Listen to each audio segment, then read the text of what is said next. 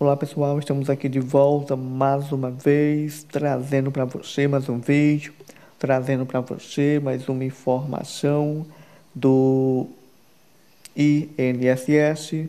Se você não é inscrito aqui no canal, clica aqui abaixo, se inscreva, deixa aí o seu like, deixa aí o seu comentário e se puder, compartilha aí o nosso vídeo.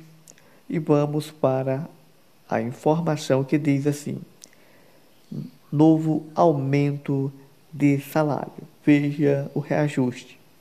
A notícia envolvendo o reajuste do salário mínimo caiu como uma bomba para os beneficiários.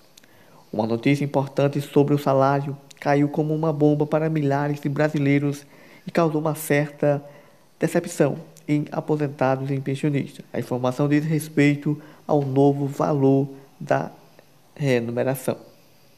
Acontece que a Secretaria de Política Econômica, que é o órgão do Ministério da Economia, publicou dados que deixaram os brasileiros bastante preocupados nos últimos dias. O fato é que o novo boletim macrofiscal expôs que o salário mínimo deve sofrer um reajuste de 4,48%, passando o salário de 1.320 para 1.379.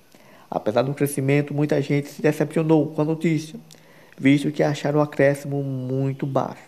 Só que o governo Lula prometeu dar um aumento real acima da inflação para os brasileiros todo ano.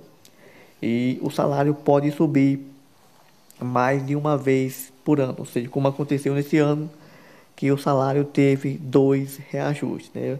O, salário, o salário no dia 1 de janeiro pode chegar a esse valor e também pode subir novamente. E tem um projeto de lei que pede o aumento de salário para R$ 1.441, dando aí aos brasileiros um ganho real acima da inflação. E o salário máximo, que é o teto do INSS, ultrapasse aí a casa dos R$ mil reais. Esse projeto está sendo votado e caso receba aprovação, o salário terá esse novo aumento, né?